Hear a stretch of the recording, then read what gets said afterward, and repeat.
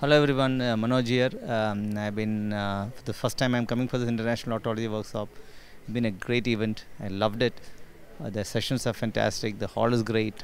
Uh, the ambience is awesome, and the discussion I think so far the best I've seen in any conference in India. Thank you.